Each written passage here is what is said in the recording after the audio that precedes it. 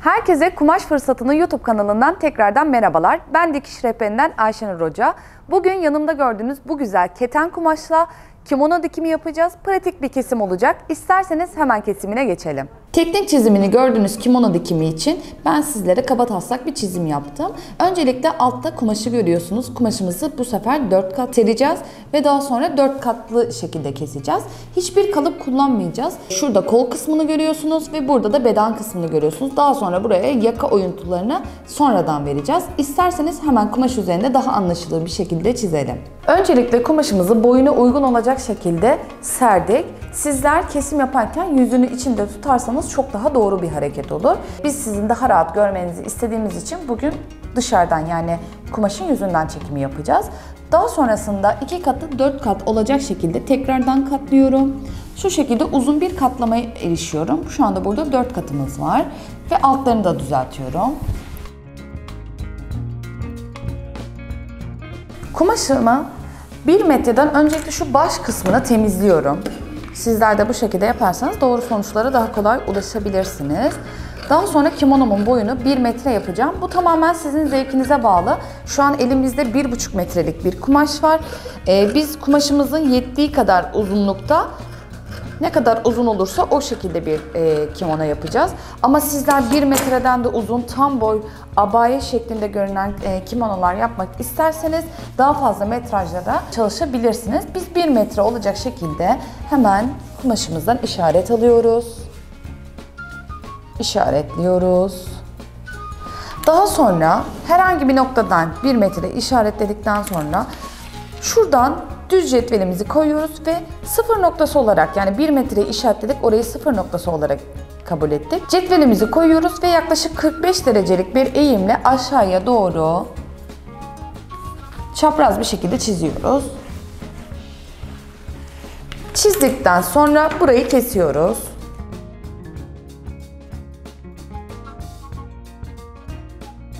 Kesip ayırıyorum. Burada bir katlama tekniği göstereceğim. Bunu çok dikkatli izlemenizi rica ediyorum. Hemen katladıktan sonra alıp ters çeviriyorum. Ve aslında kolumu da buradan çıkartacağım. Kolumu da meydana getirmiş, oluşturmuş oluyorum. Burada tabii bir yaka oyuntusu vereceğim. Bu gördüğünüz kısımda tam olarak kol olacak. Şimdi yaka oyuntusu vermek için yaklaşık 8 santim aşağıya işaret koyuyorum. Her iki taraftan da 8 santim olacak şekilde. Daha sonra burayı yuvarlayarak hemen oyuntumu veriyorum. Sonra ortalarımı ayırıyorum. Bunu önü hiç e, kapamasız ve dikişsiz bir şekilde kimonolarınızı abaya şeklinde çevirebilirsiniz. Hatta satenden çalışırsanız abiye dahi olabilir bu kesimle birlikte. Çünkü biliyorsunuz bol kesimler artık e, çok moda. Herkes çok fazla kullanıyor. Ön ortayı ayırıyorum. Burada bir yaka oyuntusu verdim. Şimdi reklam kollu kimonomun tabi şu kısmı da kol kısmında oymam gerekiyor. Yine ona uygun olacak şekilde burayı da oyarak hemen alıyorum.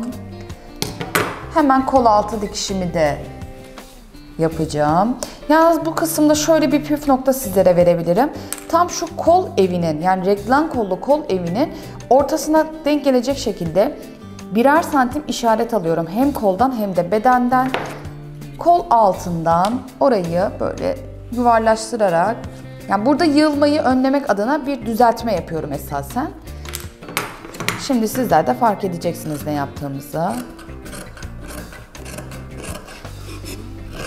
Tam ortayı buldum. Bir santimden sağ ve sola doğru işaretlemeler yaptım.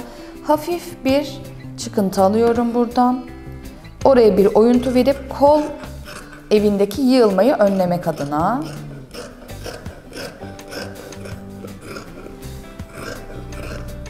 Biraz yuvarlamış oluyorum. Şöyle bir görünüm elde ediyorum. Şimdi kol altımı oyacağım. Onun için de Kolumu geniş bırakmak istiyorum. Bu kimonomuzun özelliği e, bu şekilde geniş bir kola sahip olması. O yüzden hiç elinden almadan çok az alarak cetvelimle işaretliyorum. Sadece kumaşımın tam uç kısmında küçük bir kemer parçasına ihtiyacım var. O yüzden Kol ucumu kesmeden önce buradan çıkartacağım kemer parçam var. Onun için yaklaşık 15-20 santim uzunluğunda dediğim gibi kemerin genişliği size tamamen zevkinize bağlı. Ama bu ölçüler genelde yeterli oluyor. Göz kararı bir şekilde buradan çıkartıyorum. Daha sonra kemer hazırlamak adına bunu hemen köşeye alıyorum ve kolumu çizdiğim yerden kesiyorum.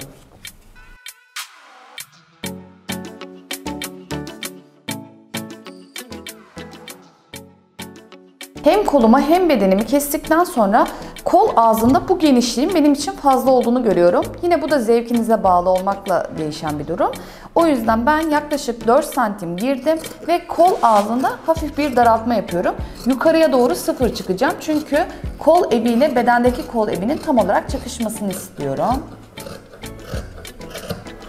Kesimimiz bu şekilde bitti. Kimono görünümü aslında ortaya çıktı. Şimdi hemen dikimine geçeceğiz. Kol eviyle bedenleri birleştireceğiz. Kol evime hemen bedenle kollarımı iğnelemeye başlıyorum. Kol ortamızda çima ve gaze dikişleri olacak. Ketenlerde ben çok yakıştırıyorum. Zaten kesimden kaynaklı böyle ayrı ayrı parçalar şeklinde çıkıyor. Ama istesek bunu bütün de çıkartabilirdik. Sizler isterseniz o şekilde de yapabilirsiniz. Biz şimdi bütün kolları kol eviyle birleştireceğiz.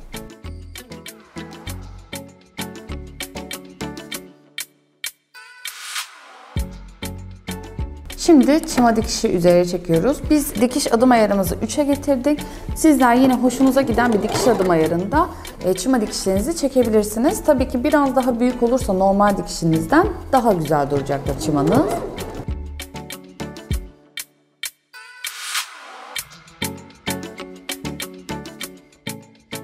Şimdi çima dikişlerimizi yaptık. Gayet güzel bir sonuç elde ettik. Kollarımızı da taktık. Biliyorsunuz başta tasarladığımız modelde kol e, üstünde çima ve gaze dikişleri vardı. Üst üste bedenleri koyuyoruz ve kolu şu orta noktadan dikiyoruz. Daha sonra tabii ki çima ve gaze dikişlerini yapacağız. Kolumun üst dikişlerini yapıyorum. Bunu normal dikiş adım ayarında yapabilirsiniz.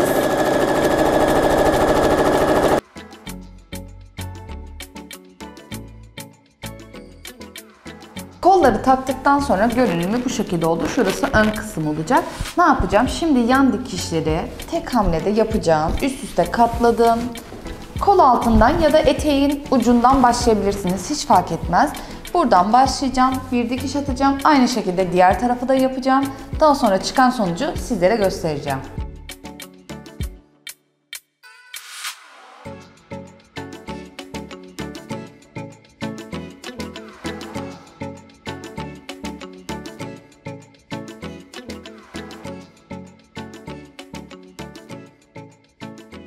Yan dikişlerini yaptık. Şimdi hemen geri çeviriyoruz.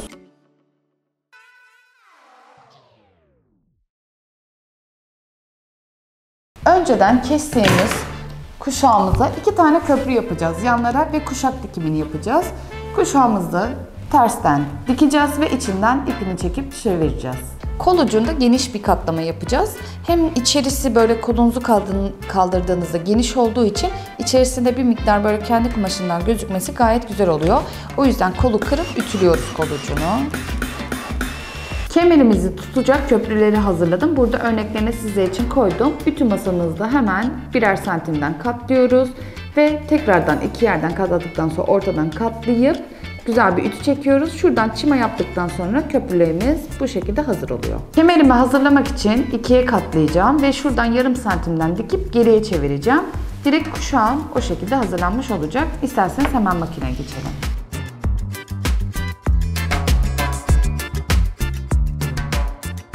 Kemerimi diktim kenarına, ucunu da diktim çünkü çubuğumu takıp siz de kemerinizi çevirirken kalem ya da bir çubuktan yardım alabilirsiniz.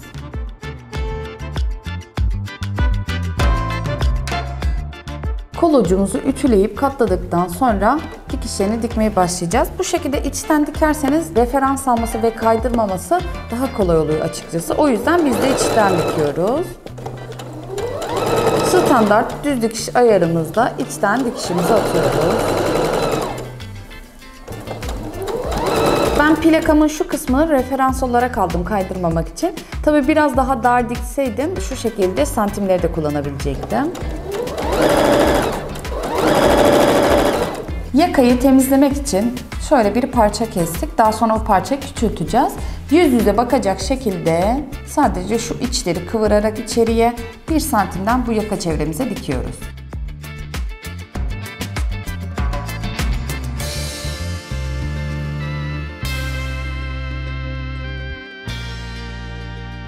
Yakamı temizlerken diktikten sonra hemen geriye çevirdim. Daha sonra şuranın payını içeriye doğru alacağım ve burayı iğneleyeceğim. Dışarıdan sıfır gözükecek. Direkt pervazda kıvrılmış gibi düşünün. Buradan gazete dikişi çektiğimde yakamı da tutmuş olacak.